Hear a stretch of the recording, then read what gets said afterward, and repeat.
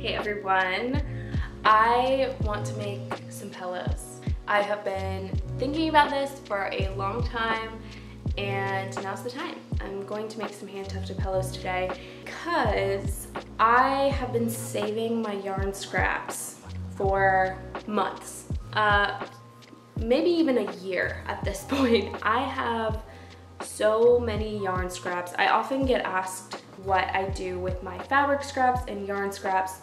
And the answer is I have just saved them. I have just bags and bags of yarn scraps waiting to be recycled. I've been saving them because I want to make pillows and stuff the pillows with yarn. I really love wool as a resource. I think it's like a very sacred and precious material. I don't want to waste it. I don't want to throw it away and I'll be making essentially wool stuffed pillows like this. This is a pillow I made as kind of like a tester and what I really love about it is it feels very dense and it's also got quite a bit of weight to it because wool is a fairly heavy fiber. I'm excited to make some more of these and tuft some pillowcases to go around them. I just got something very exciting in the mail. The Duo. If you don't know yet, Tuft the World has just come out with a low pile tufting machine that does both cut and loop with just the switch of some of the pieces and I'm very excited to try it out. I currently primarily use the AK1 and AK2 models, and this is basically two of those in one. Thank you to Tuft the World for sending me this and for sponsoring today's video. If you want to grab yourself a duo, use code MAGIC15 for 15% off your order. All right, let's try this thing out. I think I'm gonna start by drawing out the shape I want, and then once I tuft the piece, then I'll make a pillow to fit within it.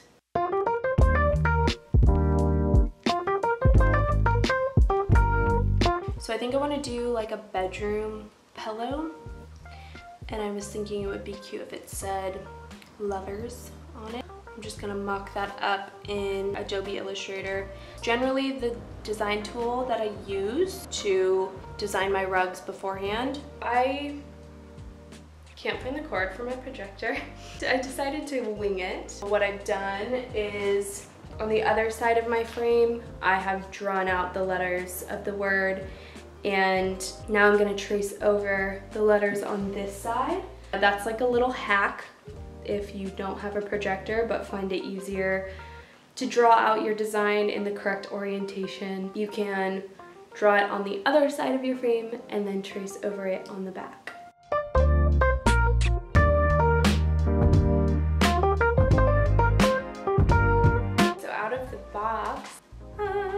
Duo is super cute.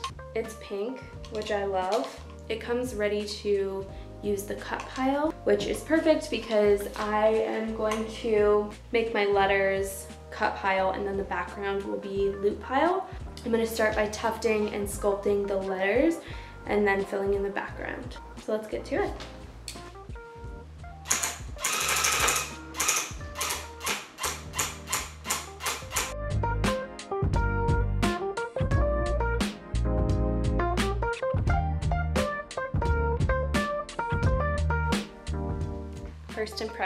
It feels nice and lightweight, very comparable to the AK1 machine. It feels really smooth, it's not too loud. Really liking it. I think that this is going to turn into my new personal machine.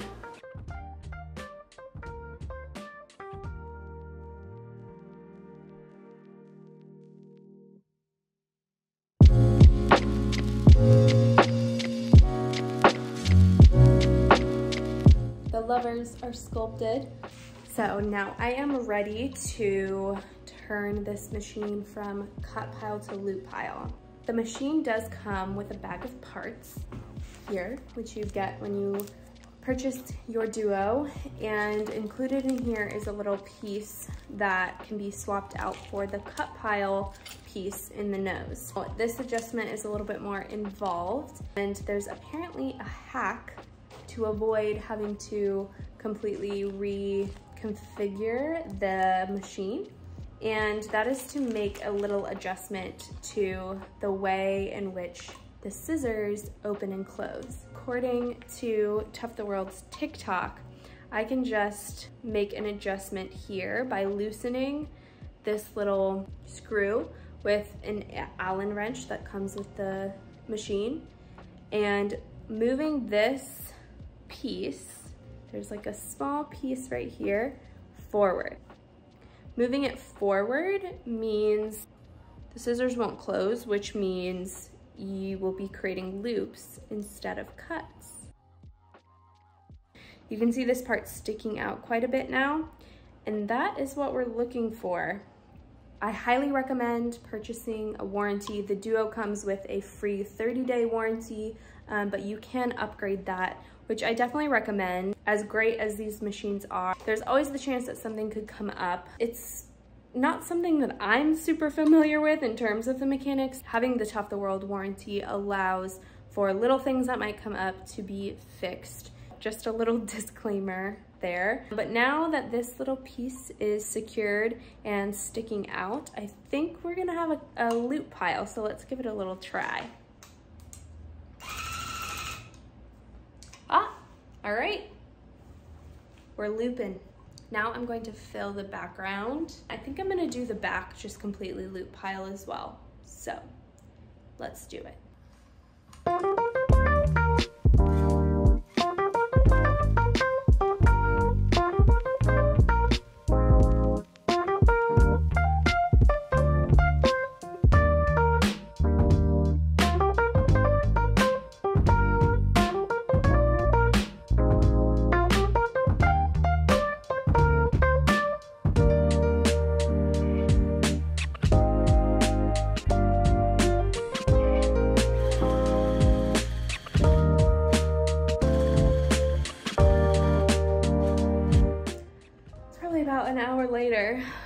Maybe, maybe more than that.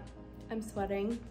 Didn't get the footage I wanted to, but we are finished.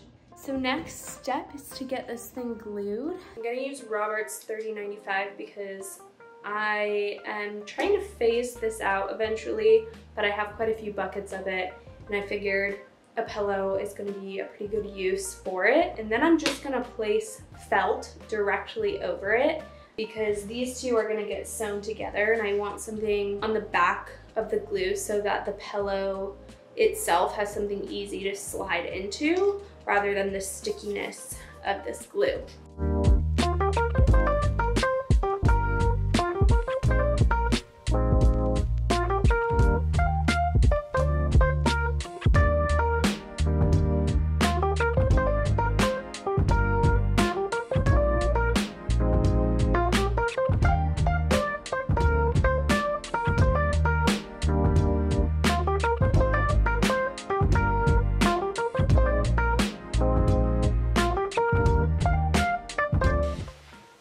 Next, I'm going to make the pillow itself, which I will be stuffing with wool scraps and fabric scraps. I have this old duvet cover that I don't plan on using. Now it is ready to take on a new life. I am very much a sewing novice. but What I like about this is there's already some of it sewn. So all I really have to do is cut it down to size and then and sew a few more lines. My pillow is gonna be 10 and a half by 25 and a half inches. So I'm gonna leave a half inch for inseam, round up to 26. We want 11 on this side.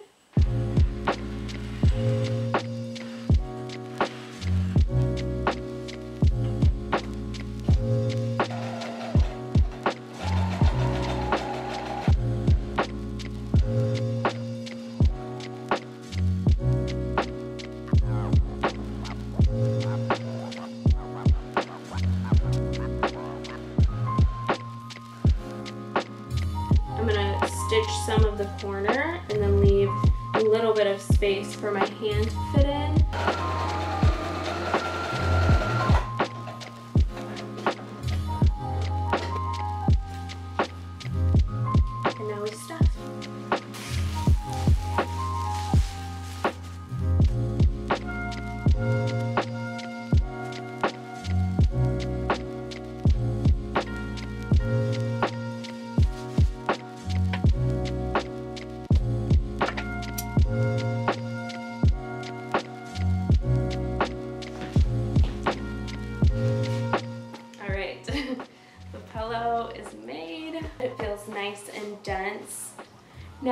Once my rug is finished drying, I'm going to cut it out and basically stitch all around the edge with this inside of it.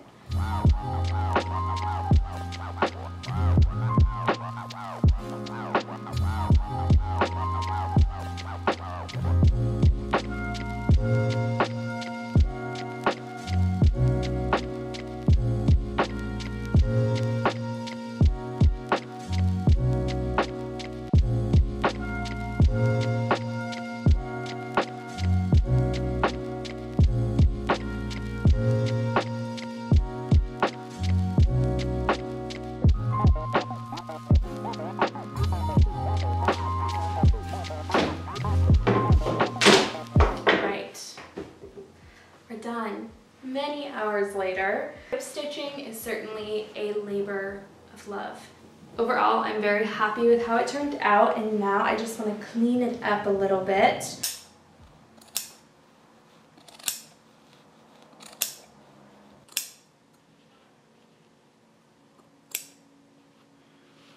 I'm kind of pulling back this loop pile line by trimming some of these loops down just because I feel like they're kind of encroaching on the letter a bit. And so I want to kind of create a gap between the letter and the overlap of the loop pile.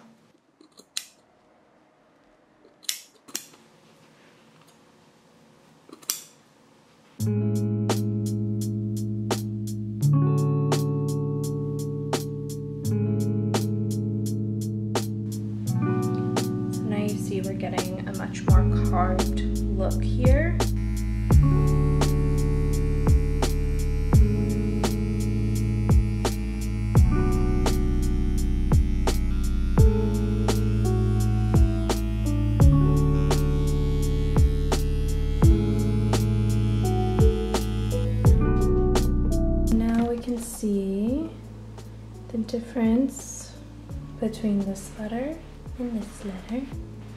And this I prefer much more.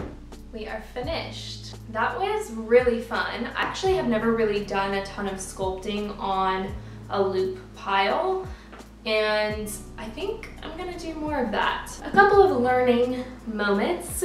This pillow is super heavy, which I think is a kind of cool feature. It's almost like a weighted pillow. In the future, I will probably use acrylic yarn on the outside of my wool stuffed pillows just to try to bring this weight down a little bit. I would also whip stitch in the same color as the background just because this wasn't quite the look I was going for. It doesn't look bad, but I would prefer that this was the same color as the background.